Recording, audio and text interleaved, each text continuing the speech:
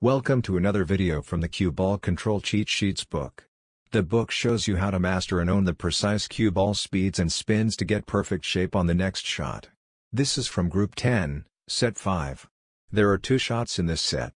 As you learn how to play them, you will improve your cue ball control.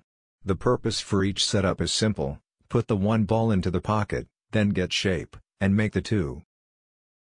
The book shows how to use precise speed and spin to get shape on the next shot.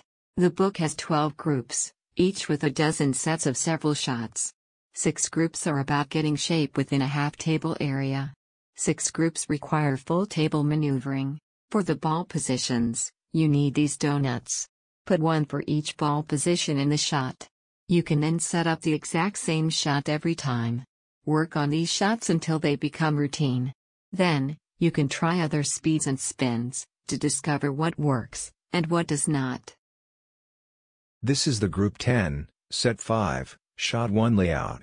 On this layout, you need to get the cue ball back across the table, for an angle on the 2 ball.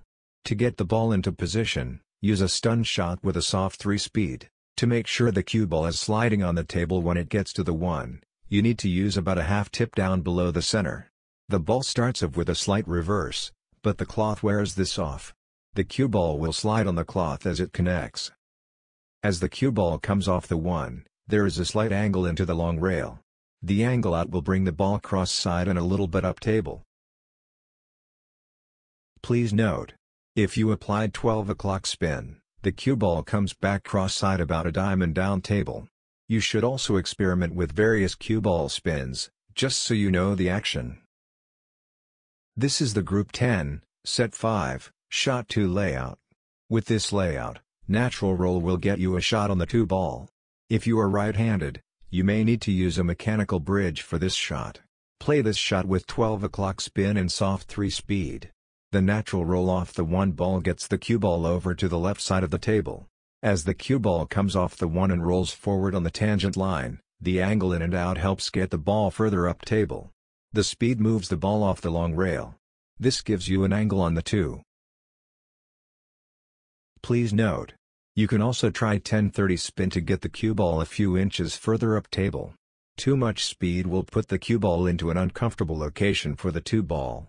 Therefore, practice this until you can precisely put the ball into the intended table location. You can buy the PDF book on the Billiard Gods website.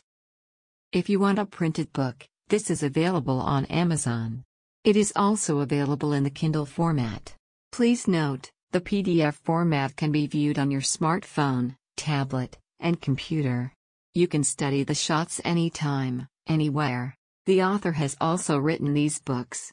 The Billiard Gods blog has posts that include excerpts, so you can get an idea of the contents. Good luck. Have fun. And shoot straight.